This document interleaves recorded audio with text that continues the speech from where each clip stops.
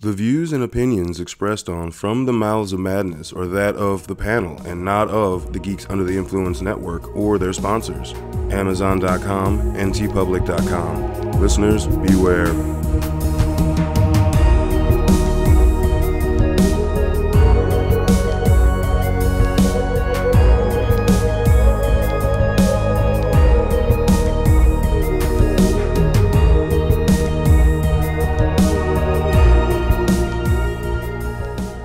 Coming straight from the mouths of madness, I am one of the hosts, Lowdown. With me, as always, is F you hundred. What's up, bitches? yeah, bitches. We uh hope you live long, bitches. yeah, by like some weird, creepy insect thing. And the fuck was that?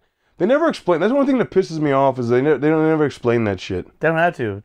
It's, It's this it's weird fucking. It's as we're about to say, but it's Del Toro. Mm, true. So yeah, tonight on the chopping block, we're going to talk about 1993's little independent Mexican horror film, Cronos, Yep. and uh, it's actually a horror drama. It definitely blends the two genres. I'll give it that, Oh yeah. horror and drama, and it is also the directorial debut of Guillermo del Toro. Yeah, I think he did like two shorts before this. Yeah. And then someone funded him enough for a full length fucking movie. And by the way, we're seeing like really well funded debut films. Oh yeah. Like, what the fuck? How many how many how many first films have you seen with somebody that are like fucking shiny and glistening and they got actual money behind them? Well, know? I mean, I guess it just proves a lot with the short films. It kind of goes from there. It just it's what happens though. Like you know, sometimes you get short films and they fucking just impress the fuck out of people. Like, all right, I'll give you millions of dollars to start doing your first movie. I trust you, dude. I didn't see how much this movie cost to make, but it definitely is a it definitely comes off as an expensive Well, plus he, he wrote film. it. I mean, and that that you know he has the entire vision, and sometimes producers are willing to trust you a lot more when you're not just taking someone's script and doing your interpretation of it. You already have a complete vision. You have your script. You're directing your script, and that fair. and that sometimes is where people go, okay, let's see how you do. You know, Yep, fair enough. Fair enough. Uh, that that, that actually makes a lot of sense. And that's honestly what happened with Tarantino. Is literally Tarantino. You Reservoir know, Dogs, yeah. his first couple scripts, people were buying them, and he was like, uh, uh I want to direct my script, and that's Reservoir Dogs. Mhm. So and look and oh, so good, so good. This one's a little limited on actual cast in general because you don't really have a very wide cast. That probably caught, cut costs there oh yeah, too. But the big, uh, big, biggest name we'll get. We'll go ahead and talk about him. We got Ron Perlman, very young. Ron, like, dude, that haircut was not flattering. oh He man, literally looked like a fucking gorilla. it's it's right in the period, and I'm gonna throw this movie out there. If anybody's seen it, it's the Sleepwalker period where he looks like a fucking cat. he still has that that cat looking face. Way the fuck before Sons of Anarchy. Mm-hmm. So who's the haircut, dude? I think once he got like the the military cut, it helps a lot. yeah, It's yeah. It's it's just that when he lets it get curly, it just does not work for It him. does dude. not.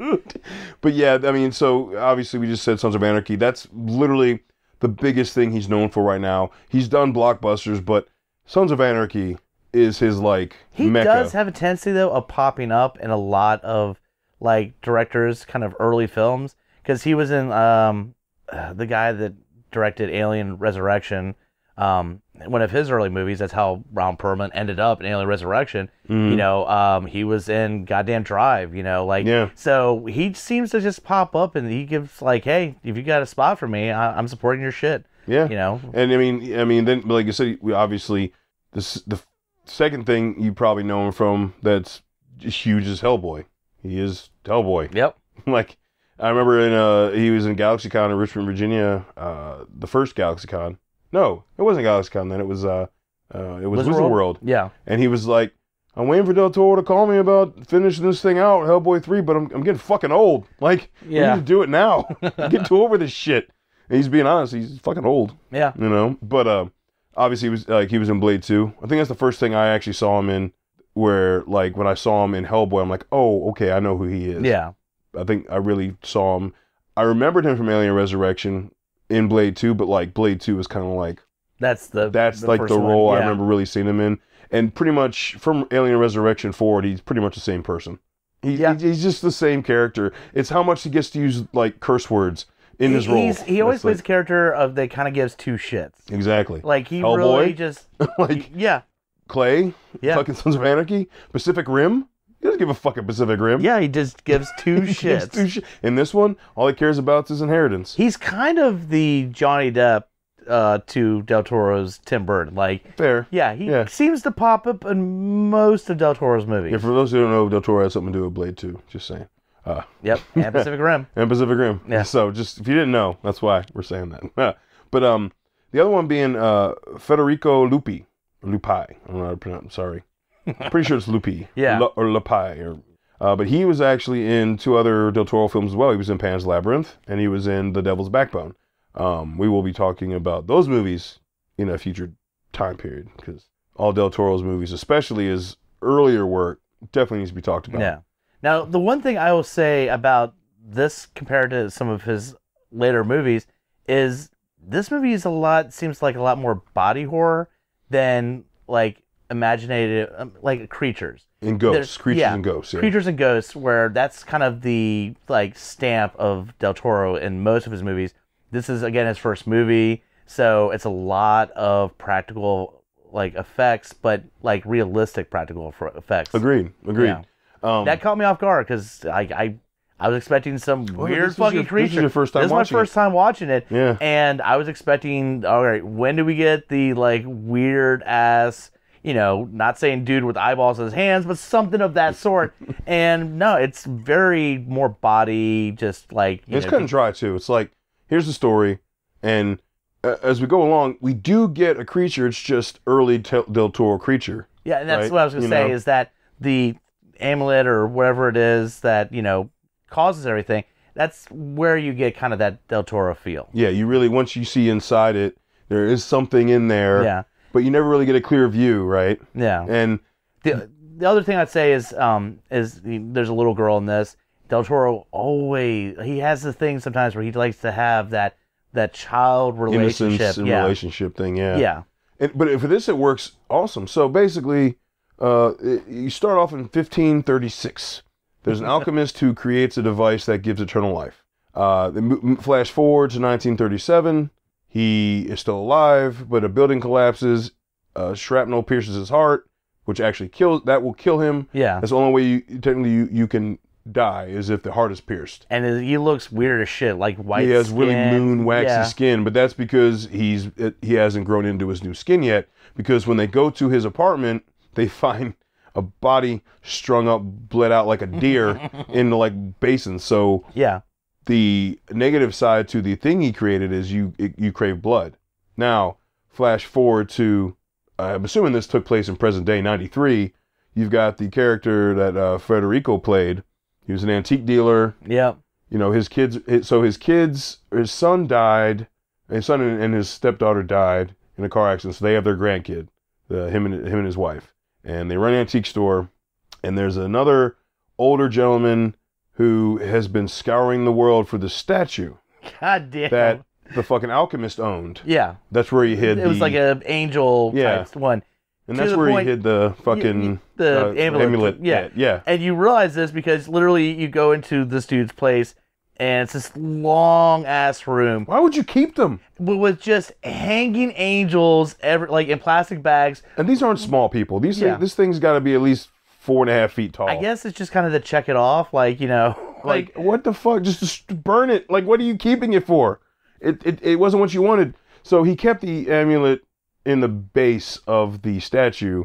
And after someone comes and shows interest, Ron Perlman, who's his nephew, was like, no, no, it was some dude who came and looked at it, was scoping it out, contacted Ron Perlman and let him know, like, hey, it's here. yeah. He went and talked to his uncle, was like, okay, I'm going out to get it. Well, in the time period between that, he, the uh, antique dealer, gets it and starts, why is he, well, because it was wrapped in There fucking paper. bugs. Remember, like, there's a hole and bugs start going out, so he's like, all these bugs That's are coming right. out of it. So That's that's, right. where he's investigating it and discovers the amulet. The in there. amulet. Yeah. That's right. No, there was like roaches and all over the fucking place. Big fucking ones, yeah, too, man. fucking terrible. well, Mexico probably Mexican Yeah. cockroaches. Yeah, it's ugh, Yeah, they were they were fucking huge. Ugh. Anyway, so he turns it. There's got like a little dial. He winds it up and it starts to run, and then all of a sudden, legs come out of the side, and then grab his hand. I like I like that too because they pop out and he's just kind of palming it. He's like, "Oh, okay, all right, that's cool." And then they pop out. He's like, "That's weird." And then it almost like a spider's like comes Rips, out even yeah. more, and then Yeah. ran right into his fucking hand. He's like looking at his granddaughter while it's happening. He doesn't even realize they lift it up like they were getting ready to do something, and funk. And then he, there's a stinger that comes out and goes right into your wrist, and also punctures in the palm too. Yeah. like it's it like it's almost like it injects like a venom. Yeah, And so really, this dude's just like a innocent bystander. It it, it happened, and it wasn't like he was asking for it, which kind of sucks. Like that's why it's a drama. You feel for the main character so much because he, didn't didn't, need it. ask for it. yeah, he didn't need it. You know, He wasn't like trying to live forever. He was Yeah. just like, oh, I found this thing cool. Oh fuck me. Here we go. Damn it. You know, it, it, it wasn't like some greedy motherfucker who wanted to live forever, like the uncle. the uncle wants that to wants it. Yeah, you know, he just found something. You know, it's a, it's a, it's like a classic tale of oh, wrong place, wrong time, wrong thing in my fucking hand. yeah. So he You know? Feeling this urge for it. Like, I mean, he's well, his hand starts itching, and he's like, he knows like like something was telling him to like fucking put that back on his hand, Yeah, and then when he does, it's just like fuck, it's like almost looks like he's having an orgasm. Yeah, well, Like- it, it- it's almost like yeah, it's like this, and you- start to see that he starts embracing this thing, injecting him over and over again. Well, it makes it's making him younger. Yeah, because he's he getting his shaved- sex drive back. He shaves his mustache off. He has the typical older band, like older mustache, white, and he's like, "Fuck this," shaves it off, and like his wife's like, "Oh, you're looking younger." He's like, "Yeah, Those wrinkles are going away. Yep. Sex drive's back, but they go to a New Year's party and. Oh man, he realizes that he's got a lust for blood. yeah. So again, well, we we threw in there where Ron Perlman buys the angel at the antique store. Oh, yeah, going- yeah. they're like, all right, well, this this could be it, and realizes this was it, but the thing that's supposed to be there is missing. They pull uh, him and are like, where the fuck is it? well, You know? first they trash his whole shop yeah, because they're like, "Oh no, this was it. Where the fuck is it, motherfucker? Did you separate it? Try to sell it?" They're like, "You selling us two different pieces?" yeah, You know, they don't because they think they don't even know if he knows what it is. And then when he comes in and sees his shop's completely wrecked, he's like, "Oh." But yeah, then they. Well, no. So he he goes to the bathroom because the guy gets a nosebleed at the New Year's party. this is where this is where this the movie gets kind of crazy. Cause, Yeah. Because up to that point, you know, this guy's injecting himself over and over again. You're like, okay, and he's sitting at the table. It's this big gala, and one of the other tables, this guy has a nosebleed, and immediately he's like, he centers in. He's like, oh shit, and he is like, like, that looks sexy. yeah, and, and he literally gets up from the table. He's like, I need to get another drink. Yeah. and. Follows the guy into the bathroom. The guy has, he's like, oh, fucking summertime nosebleeds. always happens yeah. to me. So it's like you know, and then like there's this giant puddle of blood on the fucking uh, uh, basin in front of the sink, and he's getting ready to like just dig into it. He's and- like playing with it. He's like Yeah. his finger. He's like moving around, just like ooh doo doo. What and should I do with who this? Who the fuck walks out of a bathroom stall like that, bro? This dude walks out of the bathroom stall with the pants still around his like thighs. He's pulling them up as he's walking around. Well, the same kind of person that would see blood and use his hand, Bare hand. and just wash, Wash it, it off, off. the fucking sink. I was like, dude, get some Ew. paper towels, a t- like anything. He's like, uh, somebody's bleeding It's all like- over this fucking like- sink. Hold on, this is '93. AIDS are out. Like, don't touch Something, fucking man. blood, man. Yeah, A, you're Like, walking out with your fucking pants down by your fucking leg, you know, Dude, it was feet. so gross. Two, you're walking, and then, but he missed a spot. There's got, and this is where I was like, okay, this is interesting because there's a still a puddle of blood from the nosebleed guy on the floor. Or yeah, Guy, weird guy that cleans up the fucking sink walks out, and then our dude's like, okay. that's free, that's free drink, right? Like, Yummy, yummy, yummy. and he, holy shit, lays on the fucking bathroom floor and just starts licking Lapping it up, dude, like a fucking cat in a milk bowl, God dude. He's just damn, it going to town on. Like that's in a bathroom floor. It's blood and it's on a bathroom floor. like fuck that noise. Oh, But in comes uh uh so Ron Perlman's character's Angel.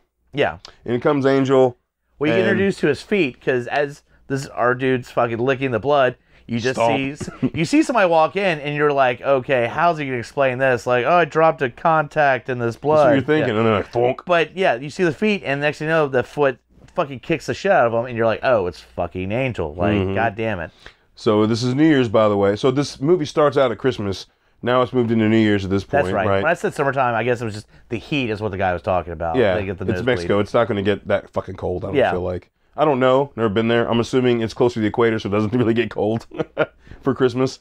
Um, so yeah, because it opens up with a, a an image of a uh, Feliz Navidad in a puddle.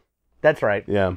Um, so our dude man wakes up in the car with Angel. Angel's drinking. Dude's on the radios like Happy New Year, blah blah. He's chugging away. Dude wakes up. He like forces dude just booze down his throat. And it's just, this is like a bullshit exchange, but he's basically like, where the fuck is it? He starts beating his ass, gets him out of the car, kicks the shit out of him, ends up putting him back in the car, which Yeah. is weird. And then Well, because he because he, he thought he beat him to death. He thought he beat him to death. Well, he also realizes that he's not going to give the information. Yeah. He- he's just like he the the dude's like as, asking him like, you don't even know what it does, do you? And he's like, I don't care. My uncle said I'm supposed to get fined for him. That's my only concern. Yeah, and then because he wants his inheritance, because he wants to make Uncle happy, Yeah. so he can finally. But he also doesn't really want to find it for him because I mean, you know he doesn't want his uncle to live forever because his uncle's a fucking he dick. fucking hates his uncle. his yeah. uncle's a fucking dick. yeah. I hate he, him he has a too. beating stick and shit. Yeah, what the fuck? I can be a grown ass man getting beat. Like fuck that, dude. I mean, cash money. I mean, that's that's the- Cash rules everything around me. Yeah, pretty much. Yeah, I'm gonna beat with your stick because I'm gonna get you fucking dope, man. Like, so, um, he ends up, Angel ends up pushing the car over a cliff, and that was a there was a really cool shot at the bottom of the cliff when the car explodes, and you see our our dude man's head out like he's dead. His neck is like the wrong position. Yeah. It's he's it's just really really cool shot. Um, and then you kind of get see uh, this is a cool part. So you get him being done, you know, all done up and gussied up, and the dude, because they're yeah, they're supposed to. I- It looks like he's getting set up by a mortician to Yeah. for a, an open casket funeral. So he's already done a lot of the sewing up, you know, getting mm-hmm. getting the prep work done to make him look. and he's like Presentable. he's dancing. He's like into that shit. He's Yeah. like it's art because guy's like, you be man, talking that about really Mexican. Wolverine? Yeah, Mexican Wolverine. Because the dude straight had the Wolverine Wolverine- yeah, did. and the Yeah, fucking white beater. I was like, that's Mexican Wolverine, Wolverine. goddamn it. And like the dude was like, man, you really do good work. He's like, yeah, it's, it's an art form. And he's just like fucking dancing and loving it. Proud He's like, that shit. and he's like, yeah, too bad they decided to cremate him. And he's like, why did no one tell me this?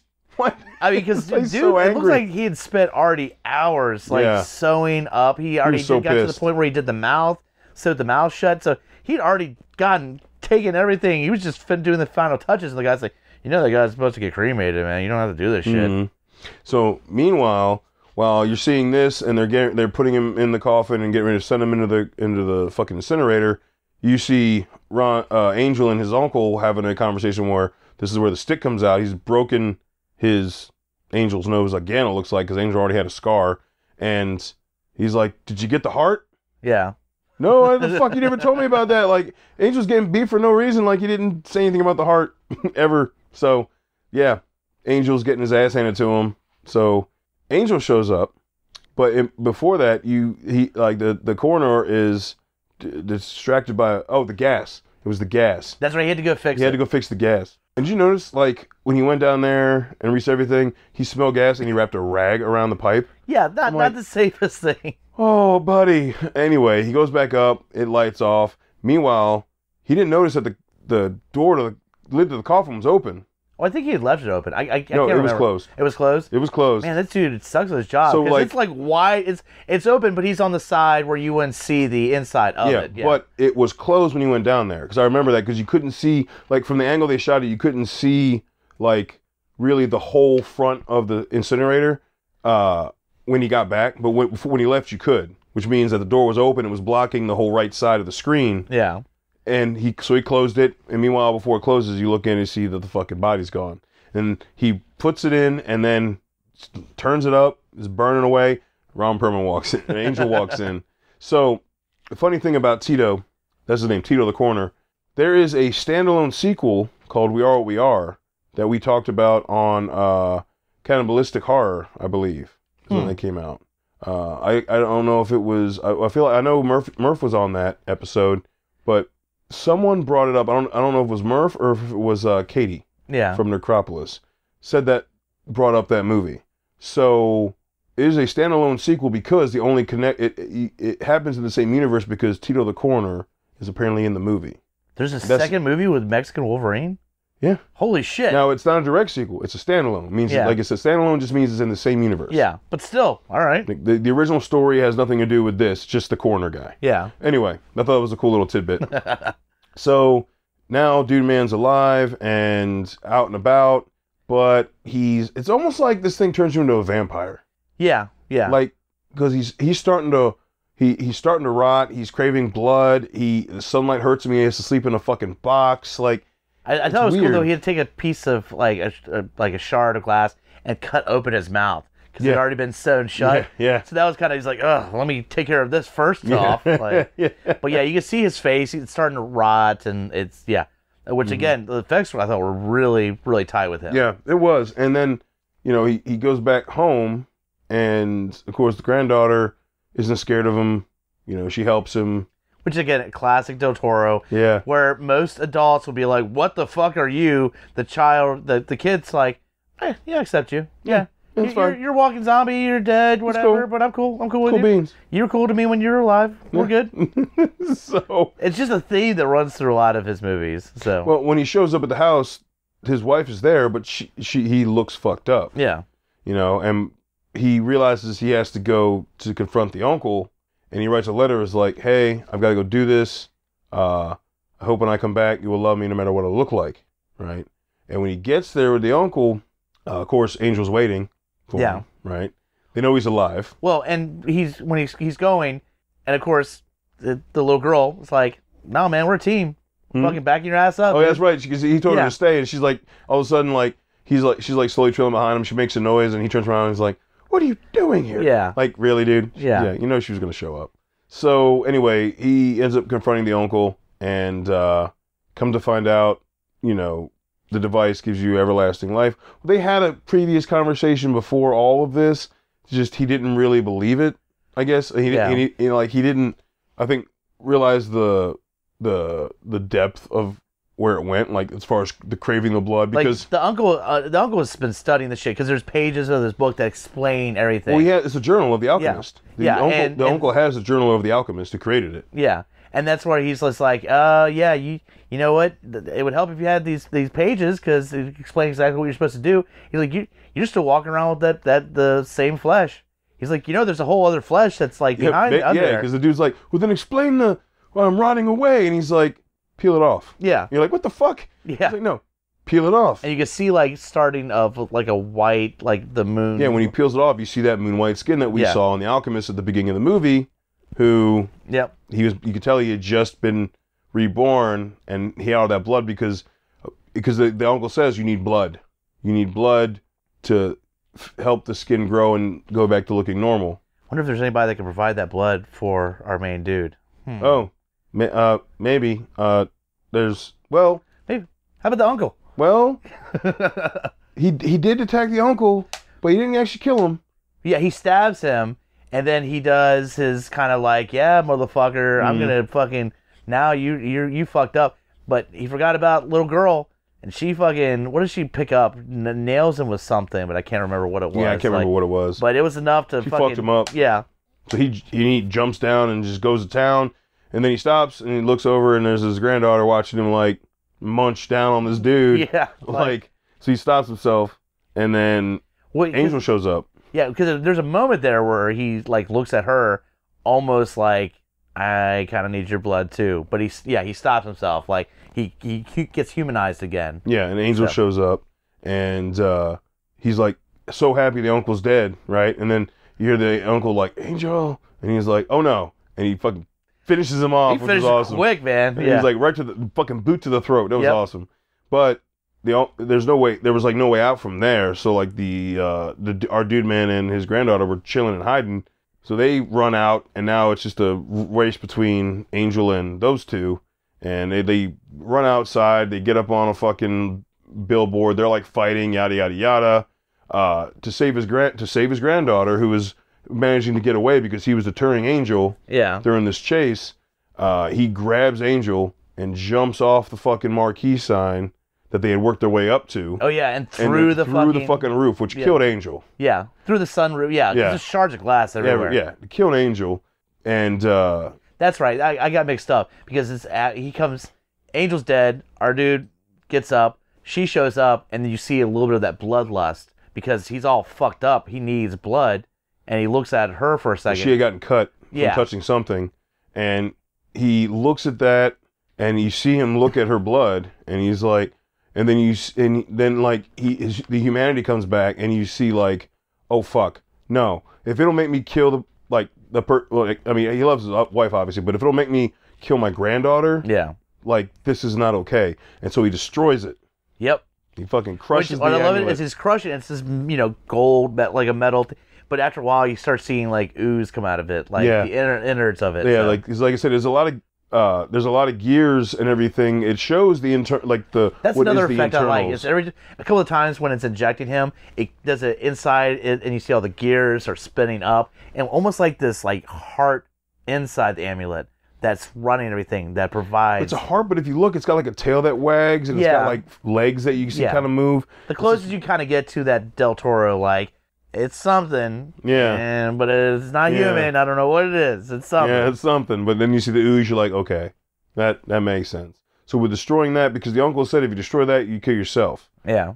So after that, it's destroyed. They go home, lay in bed, and basically the granddaughter, his wife, and him just are waiting for sunup to see if the effects are gone and if he's going to survive. Yeah. And that's a hard, hard ending because like you don't know what the fuck happened. And Del Toro is usually pretty solid at his endings. Like I think one thing we got future Del Toro, in, in future Del Toro was like like a pretty finite ending to things. You mean like Pan's Labyrinth, where it's like, oh, by the way, that little girl you really liked, you know, like Mm. that kind of shit. Yeah. Yeah. so this was like a kind of a guessing game. Did he live? Yeah. Did he not? Yeah. Ah, did he kill them both? I you think know? it's more just kind of supposed to be open ended. oh yeah, like, yeah, yeah. you know, like, you know, the optimistic people are like, good, he survived. Things are good. You know, the motherfucker's like, oh, no, he's fucking dead, and they it sucks ass, and like, so let, There's like probably uh, I don't know about you, but I know for me it's like, oh no, the effects were there, and he just like drank both their blood, and now Yeah. he's just yeah, they're yeah, they're dead. They're dead motherfuckers. Yeah, he's alive. They're dead.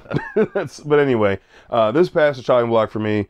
It, it was it was a, it's a good film. Uh, uh, I will definitely rewatch it. Um, again, another easy one for intro to horror people too. Yeah. It, You know? it's it's a slow, slow burn. It's very like It's, story driven. It's it's yeah, it's it's very not to shock and awe. Like Mm-mm. it's it's just like you're following the story. And I think it's because of his main character, the main guy in it. You know, he's just he's pretty much like this almost grandfather. Mhm. You know, and he's like he still has a responsibility to his wife and to his you know granddaughter and and so it kind of humanizes him, but he's changing. So like he never lets it get out of control. Exactly. Yeah. And we how we don't really see that that often in horror. Yeah. Like we usually what we the the, the common trope is we see that it takes them over. Yeah. At, eventually, like it does take over. It might take longer than others, but it ta- it does take over. This one, it never fully takes over. I thought it was really cool. Yeah.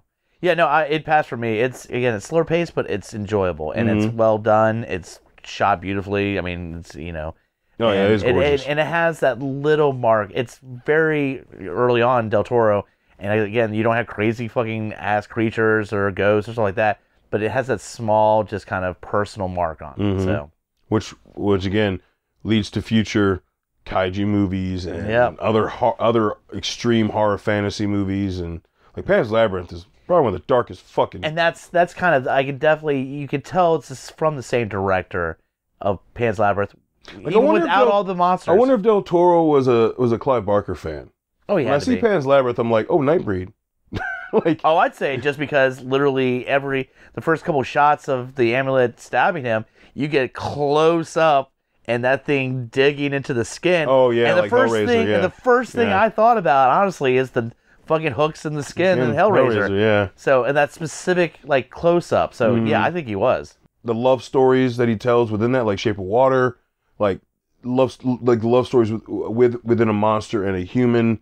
Yeah. It, it's just there's so much there. Like I could totally see him being a huge fan of Clive Barker. I don't know. I'm just guessing from his work. you know, Clive Barker was one of the first ones to do that kind of thing. Like as hardcore as it was. yeah. So, but anyway, totally passed, unanimous, passed, survived the chopping block, flying colors. Uh, hit us up, lowdownbrown.gui@gmail.com. Let us know what you think about this film. Whether it's the first time you've seen it after you listen to this, or you've already seen it and you just wanted our take on it, let us know what you think. And uh, go to GUIPodcast.com. Check out all our links. We've got Amazon.com. You click on that link, it'll take you to Amazon. You shop like normal. We get a fucking kickback, and that's always badass. Uh, second one being TeePublic. Click on that link. You go to all our merch. It is our merch store. You can get. We've got like I think we're 43 designs now. It's Yep. fucking ridiculous. Some- T-shirts, banners, laptop bag. No like- koozies. No koozies. um, and some of the designs don't need to be there, Fuck, but like they're said, there. Just get, just get a bunch of fucking stickers, man. yeah, What's just a the- bunch of fucking stickers. You got 40 Seriously. designs. You can find some stickers. Exactly, and they have two different sizes. Oh, magnets too now. Oh, so magnets shit. and stickers. yeah. Just easy things. Yeah. So definitely check that out. And while you're on GUI GUIPodcast.com, check out all the shows under the network. We have something for everybody. Try them out, give them a try, see if they're for you. And uh, until we talk to you again, stay safe.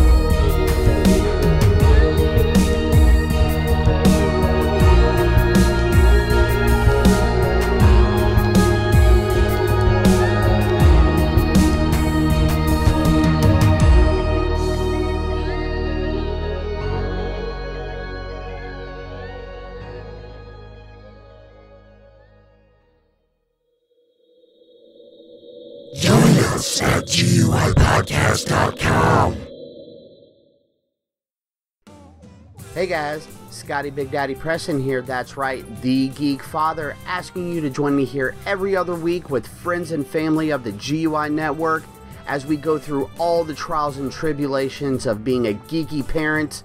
So remember, join us or cry. My name is Amy Bogard, And I'm Mike the Hobbit. and we are the hosts of Deeply Upsetting, where we use our expertise to answer your most upsetting hypothetical quandaries, such as what non winged animal deserves wings? And what body part deserves a secret mouth? Which cryptid is the worst roommate? These questions and more that plague you will be answered on Deeply Upsetting, available anywhere you get your podcasts and at GUIPodcast.com. In a world ravaged by movie studios that keep rehashing the same things, only one podcaster has the guts to make it even worse. Join Mike the Hobbit as he traverses the internet to bring you some of the best and worst ideas for reboots, remakes, and reimaginings of some of your favorite and least favorite TV and film properties. Ideas like a John Waters He-Man movie, Fantastic Four the musical, and Aliens, done entirely with marionettes. What podcast would bring this evil upon the world? This is Smack My Pitch Up. Available anywhere you get your podcasts.